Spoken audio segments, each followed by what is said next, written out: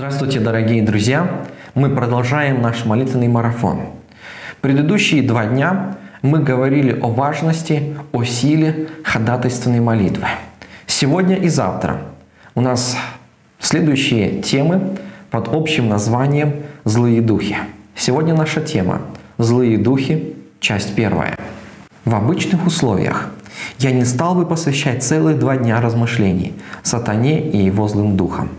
Однако, поскольку мы изучаем тему чудес и избавления, важно, чтобы мы понимали реальность сатанинских сил, против которых сражаемся. Павел хорошо осознавал реальность злых сил. В послании к Ефесинам он заявляет, «Потому что наша брань не против крови и плоти, но против начальств, против властей, против мира правителей тьмы века сего, против духов злобы поднебесных. Благая весть состоит в том, что нам не следует бояться этих духов, если мы верим в Иисуса Христа. Почему? Потому что Христос был превознесен над всеми злыми силами. Павел ясно говорит об этом, которую силою Он, Бог, воздействовал во Христе, воскресив Его из мертвых и посадив одесную себя на небесах, превыше всякого начальства, и власти, и силы, и господства, и всякого имени, именуемого не только в всем веке, но и в будущем, и все покорил под ноги Его, и поставив Его выше всего главою Церкви. Иисус заверил учеников, что они не должны страшиться дьявольских сил. «Се даю вам власть наступать на змей и скорпионов и на всю силу вражью, и ничто не повредит вам. Христос был способен дать отпор демонам, в какой бы форме они себя не проявили, будь то болезнь, недомогание или одержимость. Таким же образом и христианин во имя Христа получает силу и власть над сатанинским влиянием. 70 учеников испытали эту силу. 70 учеников возвратились с радостью и говорили, «Господи, и бесы повинуются нам о имени Твоем». Читая Библию, мы обнаружим, что многие демоны названы в соответствии с разрушительной деятельностью, которую они совершают. Вот некоторые из демонов, перечисленных в Ветхом Завете. Дух ревности, дух блуда, дух вероломства, дух лжи. Новый Завет также называет многих злых духов по имени. Изгоняя бесов, Иисус часто использует обращение. Вот несколько примеров. Немой дух, немой и глухой дух, и дух боязни. Библия ясно показывает, что против человечества действуют злые духи. У каждого из них есть своя специализация – я полагаю, это имеет смысл. Они разумные существа, созданные Богом, как и мы. У каждого из нас разные интересы и обязанности в жизни. Со злыми духами дело обстоит точно так же.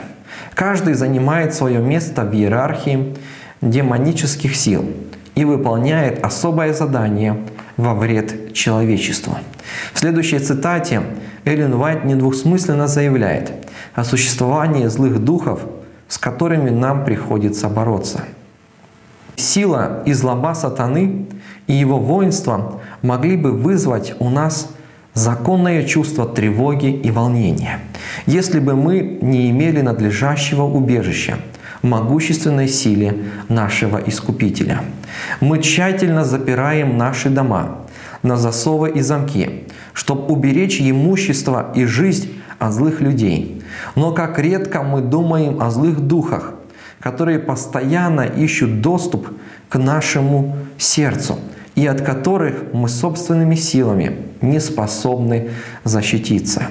Если бы только им было позволено, они бы затуманили наш рассудок, растерзали бы наше тело, уничтожили наше имущество и жизнь. Страдания и разруха приносят им неподдельную радость. Она также называет по имени некоторых злых духов в своих трудах.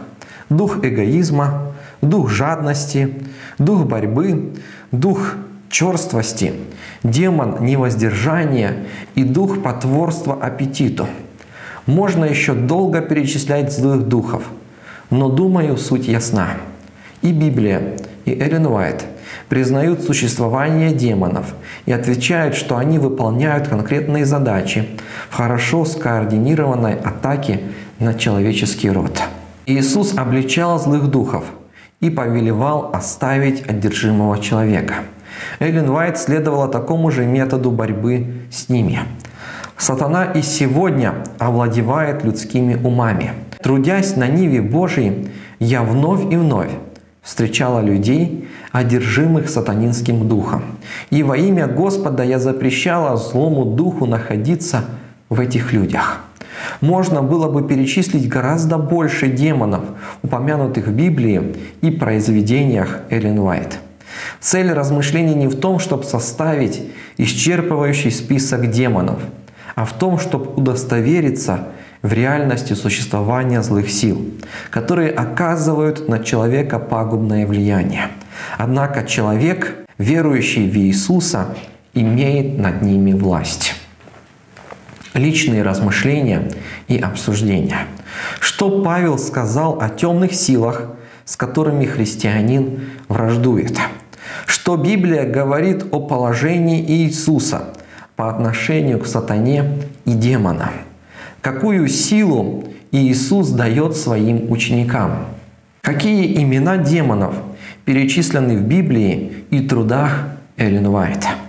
Имеет ли христианин право обличать злых духов? Молитвенное задание. Молитесь вместе с вашим молитвенным партнером – о том, чтобы Бог исполнил вас своим духом, о вере в то, что Иисус дает вам власть над темными силами, о людях из вашего молитвенного списка. Мы размышляем сегодня о злых духах. Первое, что важно помнить, что сатана прилагает максимум усилий, чтобы мы не верили в существование его или злых духов – и многие люди, живущие сегодня на Земле, они не задумываются даже об этом. Они не задумываются о том, как важно не становиться на сторону сатаны, как опасно, когда мы ищем силы, помощи, поддержки у него. Потому что одержимость злыми духами — это реальность. Да, есть и в Библии, и сегодня яркие моменты, э, страшные моменты, когда люди в буквальном смысле все видят, что они одержимы. Это действительно бывает страшно. Помню один момент, когда в одном из сел мы проходили э, с газетами, раздавая их подписчикам, ища новых читателей. И там вижу женщина в какой-то такой старой одежде, она сидит на бордюре э, возле, на обочине дороги. Я думаю, подойду к ней, предложу ей тоже. Когда я подошел к ней, она как подскочила, как начала кричать непонятным каким-то невообразимым голосом. Знаете, первое, что у меня была реакция, это просто я убежал. Потом я анализирую эту ситуацию, задумываясь, я понял, что у нее, вероятнее всего, одержимость. Но есть и моменты одержимости, которые мы не задумаемся. Библия говорит о том, что когда мы с Господом, то мы умерли для греха. В жизни каждого из нас могут быть грехи, которые мы любим, которые а, именно один, два, несколько моментов грехов, к которым мы вновь и вновь возвращаемся. И мы порой не задумываемся о том, что это тоже форма одержимости именно этим грехом. Мы еще порой это называем зависимостью. Когда мы читали вот об этих демонах, демон невоздержания, дух потворства аппетиту, дух жадности, дух эгоизма, дух черствости. И в Библии Христ тоже сказано о духе лжи, дух вероломства, дух ревности, дух блуда, то как важно, чтобы сегодня мы молились о двух моментах. Первое, о чем важно нам молиться, чтобы мы полностью были преданы Господу, чтобы не было ничего, что разделяет нас с Господом, как сказано в Библии, грехи ваши произвели разделение между мною и вами, говорит Господь, чтобы этого не было в нашей жизни. Что мы помнили, что Бог дает нам силу, Господь с нами. Он говорит, даю вам силу и власть побеждать и наступать на них. Со Христом для нас нет ничего невозможного. Второе, о чем важно молиться, чтобы эту тему мы могли раскрывать нашим близким и родным, чтобы мы могли их предостерегать об опасности, которая может быть, если мы не с Господа. И чтобы мы могли им говорить о том, что есть злые духи, есть дьявол, сатана, обольститель, который стремится, чтобы люди отдалились от Господа. И сегодня мы вместе молимся о вере в то, что Иисус дал нам власть над темными силами. И продолжаем молиться о людях из наших молитвенных списков. Помолимся вместе. Господи, благодарю Тебя за милость, любовь, силу, которую Ты даешь каждому из нас. Боже, я прошу о том, чтобы у каждого из нас была вера в то, что с Тобою мы можем преодолеть любые сложности, что с Тобою мы можем победить злых духов, которые могут оказывать влияние на нашу жизнь. Господи, я прошу, освободи нас, помоги нам, чтобы это была не наша победа, не наша заслуга, потому что без Тебя мы не можем, но чтобы Ты действовал в нашей жизни и мог освободить нас кого-то от эгоизма, кого-то от жадности, зависти, невоздержания, от осуждения, от многих других моментов, которые могут быть в нашей жизни.